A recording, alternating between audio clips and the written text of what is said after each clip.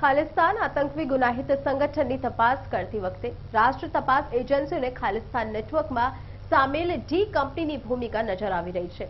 કુખ્યાત underworld don Dawood ઇબ્રાહીમે પાકિસ્તાનની ગુપ્તચર એજન્સી આઈએસઆઈ સાથે આતંકવાદી ગુનાહિત સાઠગાંઠ રચી હતી. તે હવે અંડરવર્લ્ડ કરતા પણ વધુ ખતરનાક બની ગઈ છે.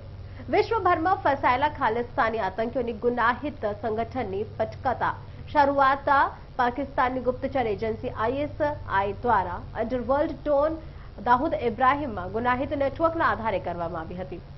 ડી કંપનીના નેટવર્કમાં સ્થાનિક ગુનેગારોથી માંડીને ફિલ્મ કલાકારો, સંગીતકારો અને રાજકારણો સુધીનો દીકરાનો દરેકનો સમાવેશ થતો હોય છે.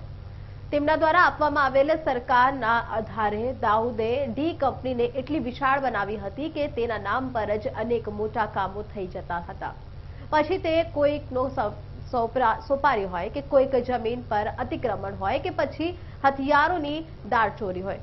કેન્દ્ર તપાસ એજન્સી એનઆઈએને ખાલિસ્તાન અપરાધી આતંકી સાથે સંગઠનની તપાસ દરમિયાન પ્રતીત થયું છે કે આ સમગ્ર બાબત ડી કંપનીના આધાર પર તૈયાર કરવામાં આવ્યું. આથી તેણે પોતાના દસ્તાવેજોમાં ખાલિસ્તાન નેટવર્ક, મુંબઈના અંડરવર્લ્ડ નેટવર્ક સાથે પણ જોડાયું હતું. ખાલિસ્તાન આતંકવાદી ગુનાહિત સંગઠનના મામલામાં એનઆઈએ તેના તપાસ દસ્તાવેજોમાં સ્પષ્ટપણે લખ્યું છે કે આ સાઠગાંઠ નેવના દાયકાની શરૂઆતમાં મુંબઈના ગેંગસ્ટરો એટલે કે ડી કંપની સાથે ઘણી સામાન્યતા ધરાવે છે.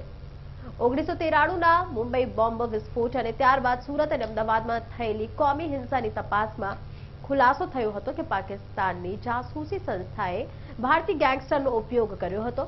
આ કેસમાં મુંબઈ વિસ્ફોટની તપાસ માટે રચાયેલી વહારા કમિટીએ પોતાના અહેવાલમાં સ્પષ્ટપણે જણાવ્યું હતું કે મુંબઈ બોમ્બ વિસ્ફોટની તપાસ દરમિયાન વિવિધ બિઝનેસ ક્ષેત્રો અને ફિલ્મ જગતમાં વ્યાપક અંડરવર્લ્ડ કનેક્શનો બહાર આવ્યા છે.